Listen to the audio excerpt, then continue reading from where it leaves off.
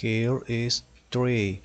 therefore 3 equal numbers that multiply is first 1 1 multiplied by 1 multiplied by 1 is 1 equal therefore is 1 125 5 multiplied by 5 multiplied by 5 5 multiplied by 5 25 multiplied by 5 125 equal therefore is 5 okay